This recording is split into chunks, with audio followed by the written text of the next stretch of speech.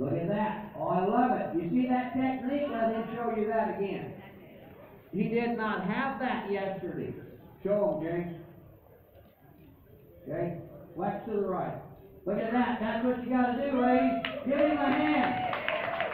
Bend. Bend the neck. Bend the neck. Now clap, guys. Bend the neck, James. Bend the neck. Stay in there. Now let go. Bend the, the left ring. Perfect. I love it. Yeah, good, ladies. That's what you gotta do. Now, that's the first step. Now, the second step for all of us is, and with James, the real true art of this is to get your horse to do this and let go. You don't wait till he's running off to pulling, because you can't. So you teach him to give through the release.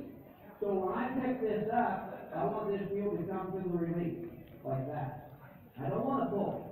I mean, I can, or I will, but I want it to come to the release. Like that. So look, Jay, where your leg is.